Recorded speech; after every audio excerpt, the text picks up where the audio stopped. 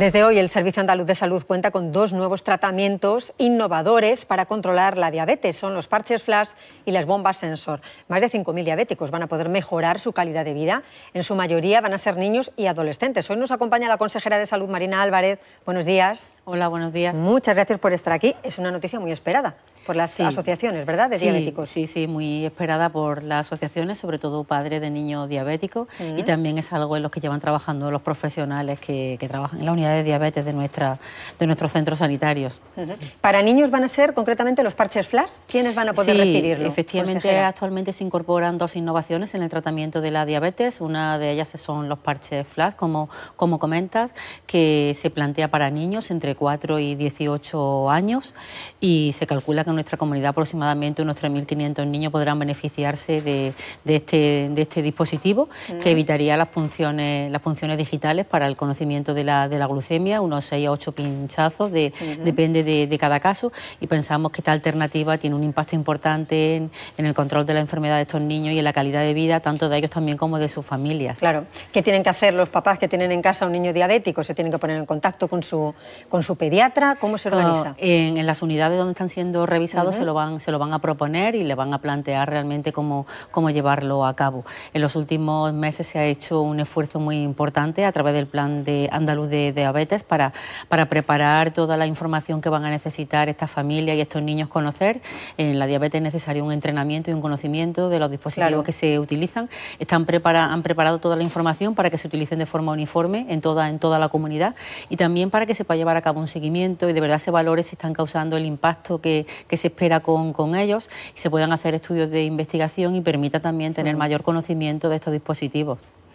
¿Y las bombas sensor van a ser destinadas a 1.500 personas que van a hacer ese tratamiento exactamente? Sí, las bombas sensor eh, son indicadas tanto para niños como para adultos que las necesitan para el control de, su enfermedad. Serán para indicación clínica cuando los médicos que atienden a estos, estos pacientes lo consideren oportuno. Y realmente la bomba sensor podríamos decir que es un paso más del sistema bomba. El sistema bomba es un sistema de infusión continua de insulina, pero para casos más graves que no consiguen controlarse o que tienen crisis de hipoglucemia glucemia importantes. El sistema bomba sensor permite una medición continua de la glucosa con alarmas y permite avisar en caso de hipoglucemia grave. Así que serán también sistemas que estarán indicados por, por los facultativos que atienden en las unidades específicas de diabetes.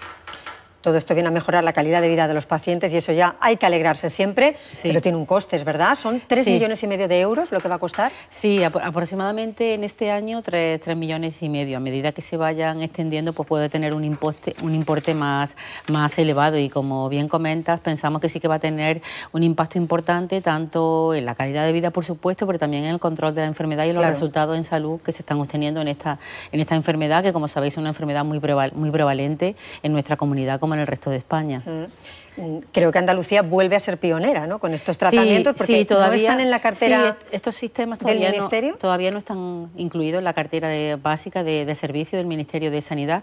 Hay alguna comunidad que la ha incluido, pero la importancia es que nuestra comunidad es la que tiene el número más importante de pacientes que se van a beneficiar de, esto, de estos sistemas. Así que pensamos que es un paso, es un paso importante en este sentido. Bueno, hay otra prueba también muy efectiva, que es la de cribado para detectar de una manera precoz el cáncer de colon, que era un compromiso también importante ¿no? el, del gobierno de la Junta. Se han detectado muchos casos en los últimos años. Sí, el cáncer de colon es el cáncer más frecuente de forma global, teniendo en cuenta los dos sesos, es el, cáncer más, más, frecuente. Es una prioridad para nuestra comunidad, está incluido dentro del Plan Integrado Oncológico de Andalucía, uno de los planes priorizados para trabajar en todos nuestros centros sanitarios durante este año. Llevamos unos años trabajando de forma piloto con 95 centros de salud realizando esta prueba de, de cribado, pero nuestro compromiso ahora es extenderlo para que antes de que acabe el año esté extendido en todas las áreas, en todas las áreas hospitalarias esta, esta prueba de cribado y bueno, la, realización de, de, esta prueba permite poder reducir la mortalidad de un 15 a un 35% aproximadamente. Eh, siempre he escuchado decir que no se debe utilizar la sanidad como arma política, pero parece que es eh, algo que todavía no se consigue y hay muchas críticas desde el Partido Popular porque no ponen ya desde este mismo momento ese presupuesto para que se pueda hacer desde mañana mismo esa prueba en todos los centros de salud. ¿Qué no se espera hasta final de año, dicen? hay que tener en cuenta, nosotros hemos, transmitido que está dentro de nuestro presupuesto realmente llevar a cabo este, este cribado de, colon, existe presupuesto para este año y para, y para los los El cribado de colon, como cualquier otro cribado, trabaja por rondas de cribado, por vueltas, y una vuelta dura dos años aproximadamente. O sea que desde que comienza en un área, en una área hospitalaria determinada, en un área de referencia, tardaría dos años en estudiar su población y cuando acaba vuelve a empezar otra, otra vuelta a dos años. No es deseable que, que, se hagan todos de una, de una vez, es necesario hacerlo de forma, de forma progresiva, así que con el compromiso que en dos años se ha estudiado toda la población diana. Tenemos que tener en cuenta que la, la población diana en nuestra comunidad son aproximadamente dos millones de, de personas. Son personas entre 50 y 69 años. Como comentábamos, ya ha empezado en 25, 25 centros de salud, pero se va a extender en todos. Y el compromiso que una vez que empiecen, cada, cada centro estudie su población diana en dos años y continúe así con el cribado como cualquier otro cribado. Entonces, a las personas que se va a hacer esta prueba, ¿quiénes son concretamente y qué tienen que hacer? ¿Se les va a llamar? ¿Es el Servicio Andaluz de Salud quien se pone en contacto con ellos? Efectivamente, sí. Esta prueba va destinada a población con 50 y 69 años que no tiene ningún otro factor personal que haga que tenga un riesgo aumentado, como puede ser antecedente personal de, cáncer o de pólipos, o un antecedente familiar o un antecedente de enfermedad inflamatoria intestinal. Son personas sin antecedentes sin estos antecedentes personales y son llamados, son llamados de, por, desde su centro de salud y el que desee participar se le enviará el kit a su casa para que pueda llevar la muestra a su centro, a su centro de salud. Se van a poner en contacto con, con ellos. El coste de esta prueba ya me dice que se contemplaba en, los presupuestos, es verdad que es mucho más barato. Está feo siempre hablar de dinero cuando hablamos de, la salud, ¿no? Pero es mucho más barato hacer esta prueba y poder detectar eh, un cáncer en un estadio inicial que hacer frente, por ejemplo, a los costes de una intervención quirúrgica o de quimioterapia, ¿no? Sí, efectivamente los costes están metidos dentro del presupuesto porque era una de las prioridades para, este año y en los últimos años el Plan Integral Oncológico de, Andalucía. Es importante tener en cuenta que cuando se comienza con un programa de cribado se está trabajando con población sana y antes de, empezar con él hay que asegurar que todo está muy bien planificado para que aquellas personas a las que la prueba es positiva, que van a tener que realizarse otra prueba, en este caso una colonoscopia, realmente todo está preparado para que se atiendan en forma, en forma y en tiempo y eso es lo que nos permite al trabajar con estos 25 centros de salud piloto, el tener ajustado el sistema de información y todos los circuitos para responder a, estos casos de forma, forma adecuada. Creo que es importante tener en cuenta que de las, de las personas que se realicen la prueba, aproximadamente en un 5 a un 10% que sea positiva, van a tener que realizarse otra serie de pruebas complementarias, entre ellas una, una colonoscopia, pero la mayoría de las pruebas que son positivas no quiere decir que tenga un cáncer, suelen ser otra patología benigna como pólipos, hemorroides, aproximadamente en un, en un 4 a un 9, un 9 de las personas que tienen la prueba positiva, finalmente tendrán, tendrán un cáncer. La detección precoz siempre fundamental. Es que yo creo que es, el camino ¿no? que, hay que, llevar para, luchar contra esta enfermedad. Claro, con, este programa de detección precoz se consigue disminuir la mortalidad porque se consiguen detectar lesiones que son pequeñas, que están en estadios iniciales y eso se acompaña de mejor supervivencia y también permite tratamientos menos, menos agresivos, cirugía menos agresiva, evita, evita la, colostomía en, un importante número de, de casos. Pero creo que también es importante que se haga hincapié en que existen hábitos de vida que son modificables, que tienen también un impacto muy positivo en la prevención, en evitar el cáncer, el cáncer de colon, otros cánceres y otras patologías que son prevalentes.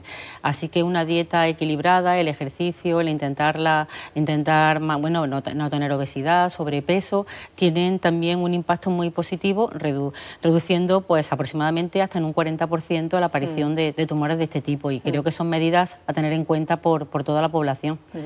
Eh, quería que le mandara un mensaje a esas mujeres que llevan ahora mismo puesto el anticonceptivo Esure, creo que son 22.000 en Andalucía. Sí, sí, Ya saben que se retiró de, la comercialización el, verano pasado ¿Qué va a ocurrir? ¿Hay un protocolo de, la Junta para atender a estas mujeres? ¿Qué les decimos? Sí, es un número importante de, mujeres las que tienen este dispositivo que, como bien has dicho, se retiró del mercado el verano, el verano pasado y en nuestra comunidad el número son 22.000 aproximadamente. Existe un protocolo que se utiliza en nuestra comunidad, es el protocolo que ha sido elaborado por la Sociedad Española de Senología, de, perdón, de, Ginecología y Obstetricia y se adapta a nuestra, nuestra comunidad y en este protocolo se contemplan cuáles son los síntomas que puede provocar este, este dispositivo y cuáles son los criterios para su retirada, el procedimiento de retirada, toda esta información está disponible en nuestros centros, en nuestros profesionales, para que realmente puedan detectarlo al, ver a, estas pacientes y también le puedan transmitir toda la información que necesitan para que ellas puedan realmente tomar la decisión sobre el manejo más, más adecuado. Eh, consejera, los sindicatos de los hospitales en Granada dicen que les faltan eh, unos 500 profesionales para atender a, todos los pacientes. Eh, en Granada, como, como, sabéis, el 26 del mes pasado realmente se ha, llegado a la reordenación de, las dos áreas hospitalarias. Ya las, urgencias están funcionando como funcionaban siempre en, eh, en, Granada y los dos hospitales están funcionando ya de forma, de forma independiente con, con todo su servicio a pleno, rendimiento. Actualmente los hospitales de Granada tienen una plantilla que supera en cerca de, de 800 profesionales la que tenían antes del proceso de, fusión y de fusión, antes del 2016 y antes de 2014 tienen una plantilla prácticamente similar al, 2000, al 2011, con lo cual creo que se ha hecho realmente un esfuerzo muy importante para que en poco tiempo se consiga bueno, contar con dos áreas hospitalarias diferenciadas. En estas últimas semanas se han separado pues, muchos servicios, todas las urgencias se han reorganizado sin incidencia importante y al mismo tiempo se ha seguido manteniendo la asistencia, la asistencia sanitaria. Este mismo fin de semana se separaban los sistemas de información, ya son independientes para cada centro hospitalario. Los dos, las dos áreas hospitalarias han ganado en infraestructura, en tecnología, en recursos, en cartera de servicios. Como comentaba, en personal tienen cerca de 800 profesionales más que antes de empezar el proceso de, fusión y de fusión. Y yo creo que lo que empieza en Granada es una nueva época para cada uno de los dos hospitales, cada uno con, con su proyecto y donde creo que todos debemos de colaborar, no solamente administración, profesionales, sindicatos, ciudadanía, desde la responsabilidad y el compromiso por, por la sanidad mm. pública y por la población a la que atendemos. Entiende las críticas, entonces. Dice usted, tienen 800, 800 profesionales más. ¿A qué cree que se debe entonces esa, esa queja? Pues realmente no sé exactamente, pero en este, en este caso pues no, no existe ningún problema en la área de urgencia, como han comentado. La, área de urgencia están bien dimensionadas para dar respuesta a la demanda que tienen los hospitales de Granada y los servicios de urgencias tienen más profesionales que tenían antes del proceso de, fusión. Son cambios importantes los que está viendo en la, en la ciudad. Se han reorganizado la urgencia y en las últimas semanas se van adaptando la urgencia de cada área hospitalaria hasta que prácticamente cada hospital llega a tener su propia, su propia actividad ya más, más, estable. Se está muy pendiente monitorizando los resultados de, la urgencia y, yo creo que se está dando respuesta de forma adecuada. Sí que como comentábamos, ahora comienza una nueva etapa. Por supuesto, no pensamos que todo eso haya acabado el 26 de marzo y que todo esté finalizado. ¿no? Ahora empieza una etapa muy importante donde cada hospital trabaja con su propio proyecto, donde tiene que dar respuesta realmente a los problemas de salud que tiene la población. Sí que es verdad que durante todos estos últimos años la actividad ha sido compleja en, Granada y es importante reducir los tiempos de, espera en consulta, prueba diagnóstica y cirugía. Y de hecho, como han comentado sus gerentes, este es su objetivo prioritario para este año. En ello están trabajando ya y están empezando a obtener resultados y esperamos que, en breve efectivamente eh, Granada pueda disfrutar, yo creo que de todos los recursos que, sanitarios que, que tiene. Realmente ahora mismo uno de los de la mejor dotación en infraestructura sanitaria está, está en Granada y creo que, es importante que los profesionales y la ciudadanía puedan disfrutar de esta infraestructura. He escuchado muy crítica con la inversión en sanidad de los presupuestos generales del Estado. Sí, creo que la sanidad, la sanidad pública es algo que se debe de, proteger y la sanidad pública universal y para ello es necesaria una financiación adecuada y definir qué es lo que queremos qué servicios queremos dentro de esta sanidad pública y tener una financiación adecuada que permita dar una respuesta con equidad en, en todas las comunidades de nuestro país. Actualmente existe un gran desequilibrio en nuestro, país entre diferentes comunidades, pues motivado por diferentes motivos, pero entre ellos la financiación insuficiente y la financiación injusta que existe y mal no equitativa entre las diferentes, las diferentes comunidades.